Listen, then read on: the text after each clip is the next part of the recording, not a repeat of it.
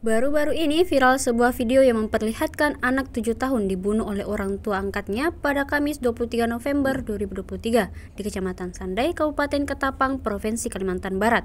Dalam unggahan akun Twitter @kegoblokan Anfaida pada Jumat 1 Desember 2023, beredar video penganiayaan sebelum akhirnya ditemukan meninggal. Tampak rekaman video amatir dari belakang, wanita berpakaian putih menindih dan memukul anak angkatnya yang tidak memakai baju. Terlihat anak angkatnya menangis-nangis tanpa henti. Tampak dalam video tangan seseorang menutup pintu seakan membiarkan anak tersebut disiksa. Dalam keterangan video, seseorang menjelaskan saat anak tersebut dimandikan jenazahnya, terlihat perut terkelupas seperti terkena air panas dan seluruh badannya penuh dengan luka.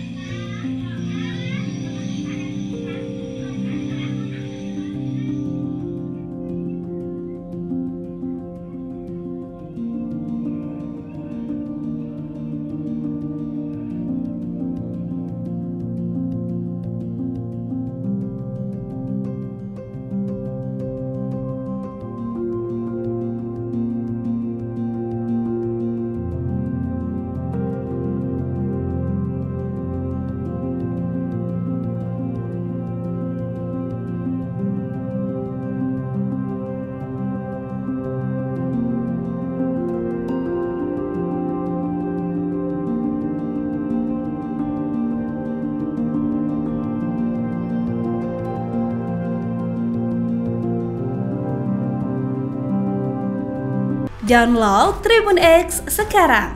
Menghadirkan lokal menjadi Indonesia.